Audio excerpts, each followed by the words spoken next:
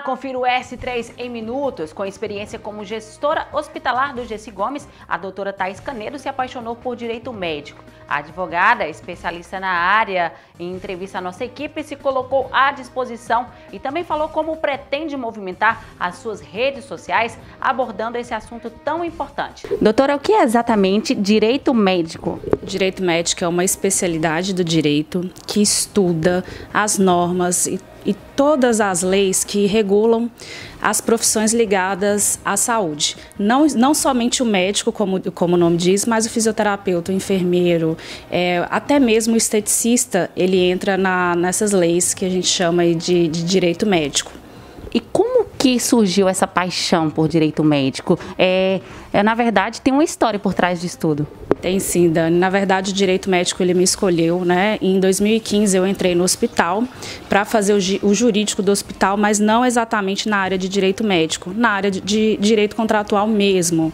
Acabou que eu fui para o cargo de gestão hospitalar e nesse, no cargo de gestão hospitalar, como eu sou advogada, eu acabei entrando nessa área do direito médico. É, é super interessante, é, é muito ligado à informação, ao direito do paciente e do profissional da saúde também. Então, toda pessoa que ela se sentir lesada é, no campo da saúde, seja um paciente, seja o médico, ele pode estar procurando o advogado especialista. É muito importante que o advogado seja especialista, porque o ramo ele é bem peculiar, né? ele é bem específico, para estar é, sabendo, tendo informações sobre o direito. Né?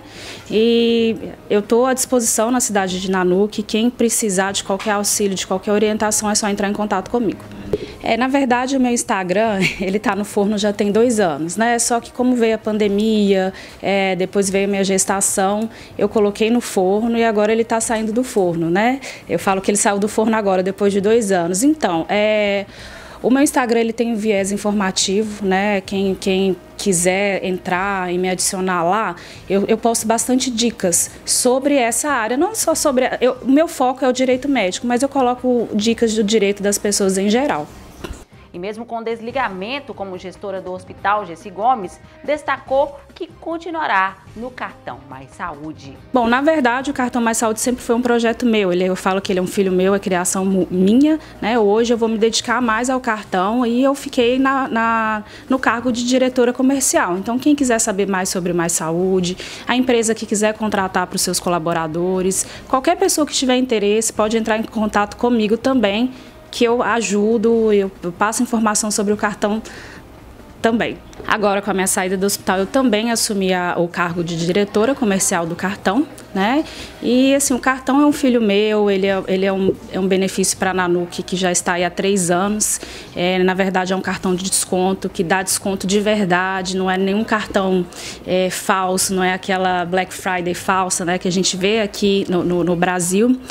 É né, é o único da região que inclui é, serviço hospitalar com desconto. Então, assim, a população hoje ela pode ter acesso ao serviço privado de saúde por um preço que cabe no bolso dela, por um preço adequado à realidade social do local.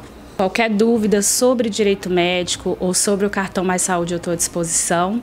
É, o cartão Mais Saúde ele fica bem em frente ao Hospital Gessi Gomes, aqui na Avenida São João del Rei.